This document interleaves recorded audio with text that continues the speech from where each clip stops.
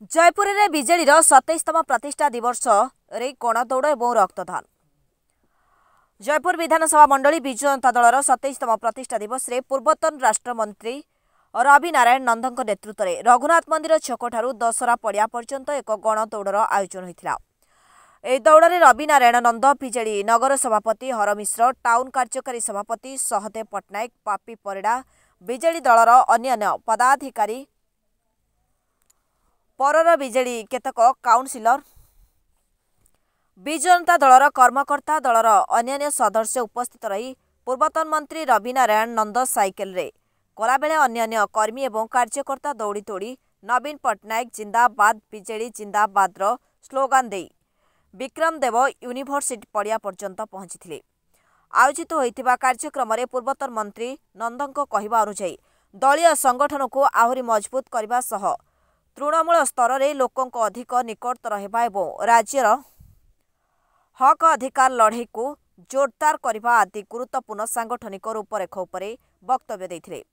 ବିରୋଧୀଙ୍କ ଅପପ୍ରଚାର ଏବଂ କେନ୍ଦ୍ରୀୟ ଅବହେଳା ପ୍ରସଙ୍ଗକୁ ନେଇ ସ୍ୱରକୁ ଆହୁରି ଦ୍ୱିଗୁଣିତ କରିବା ପାଇଁ ଶ୍ରୀ ନନ୍ଦ ଏହି ଅବସରରେ ଆହ୍ୱାନ ଦେଇଛନ୍ତି। ଏହି ଅବସରରେ ସାଧାରଣରେ ଏହିଥର ଜୟପୁର ବିଧାନସଭା ଆସନଟି ବିଜୁ ଜନତା ଦଳ ହାତେଇବା ପାଇଁ ପ୍ରୟାସ କରିବେ ବୋଲି ମତବ୍ୟକ୍ତ କରିବା ସହ ଶପଥ ନେଇଥିଲେ ତେଣୁ ମଣ୍ଡଳ ଏବଂ କର୍ମୀ ଦ୍ୱିତୀୟାର୍ଦ୍ଧରେ ଜୟନଗରସ୍ଥିତ ସାଙ୍ଗମ କୋଲାନୀ ମଣ୍ଡପଠାରେ ବିଜୁ ଜନତା ଦଳର ପ୍ରତିଷ୍ଠା ଦିବସ ଉପଲକ୍ଷେ ଏକ ରକ୍ତଦାନ ଶିବିର ଡକ୍ଟର ଏସ୍ ଏସ୍ ମିଶ୍ର ଏବଂ ରକ୍ତ ଭଣ୍ଡାର କର୍ମୀଙ୍କ ସହଯୋଗରେ ଆୟୋଜନ କରାଯାଇଥିଲା।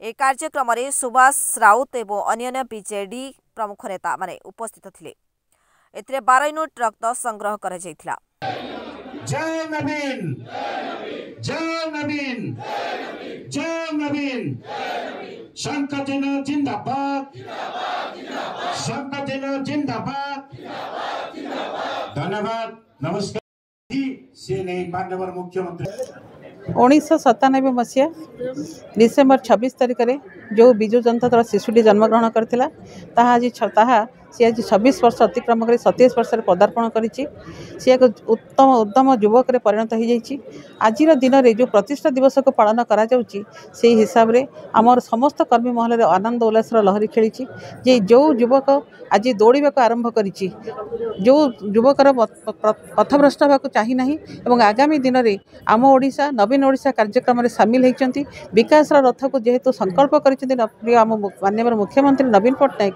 ଯେ ବିକାଶର ରଥକୁ ଆଗକୁ ନେବେ। ସେହି ରଥର ସାରଥୀ ହିସାବରେ ଆମର ପ୍ରିୟ ବି କେ ପାଣ୍ଡିଆନ ସାର୍ ତା'ର ସାରଥୀ ବନିଛନ୍ତି ଏବଂ ସମସ୍ତ କାର୍ଯ୍ୟକ୍ରମକୁ ସେ ହାତକୁ ନେଉଛନ୍ତି। ବିଜୁ ଜନତା ଦଳକୁ ଆଗକୁ ନେବା ପାଇଁ ଯେଉଁ ପ୍ରତିଶ୍ରୁତିବଦ୍ଧ କରିଛନ୍ତି ଆଜି ସେହି ହିସାବରେ ଜୟପୁର ନିର୍ବାଚନ ମଣ୍ଡଳୀର ପ୍ରତ୍ୟେକ କର୍ମୀ ଗୋଟିଏ ସଂକଳ୍ପ ନେଇକି ଯାଉଛନ୍ତି ଯେ ଆମେ ବିଜୁ ଜନତା ଦଳର କର୍ମୀ ହିସାବରେ ସୈନିକ ହିସାବରେ ଆମ ଓଡ଼ିଶା ନବୀନ ଓଡ଼ିଶା ବିକାଶର ଓଡ଼ିଶାର ରଥକୁ ଆ- ଟାଣିକି ନେବୁ। ଦୁଇ ହଜାର ଚବିଶ ଆମ ପାଇଁ ବିଜୟର ବର୍ଷ ହେବ। ଆମେ ହର୍ଷ ଉଲ୍ଲାସରେ ତାକୁ ପାଳନ କରିବୁ। ଏହି ସଂକଳ୍ପ ନେଇ ଆଜି ସେମାନେ ଫେରୁଛନ୍ତି।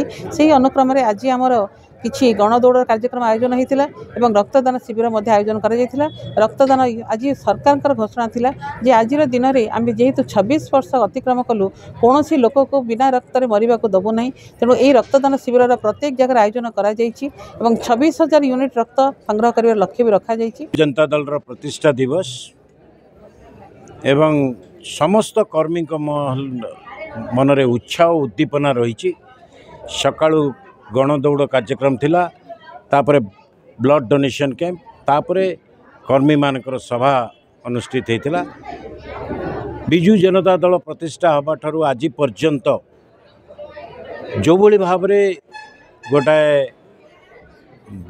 ମଣିଷ ବା ଗୋଟାଏ ବୃକ୍ଷଲତାର ଗ୍ରୋ ହୋଇଥାଏ ଉତ୍ଥାନ ହୋଇଥାଏ ଠିକ୍ ସେଇଭଳି ଭାବରେ ବିଜୁ ଜନତା ଦଳ ଆଜି ଏକ ଯୁବକ ଅବସ୍ଥାରେ ଆସି ପହଞ୍ଚିଛି ଏବଂ କୋଣ ଅନୁକୋଣରେ ଆପଣ ଦେଖିବେ ବିଜୁ ଜନତା ଦଳର କର୍ମୀ ଏବଂ ମହିଳାମାନେ ବିଶେଷତଃ ମହିଳାମାନେ ଛାଇ ହୋଇଯାଇଛନ୍ତି।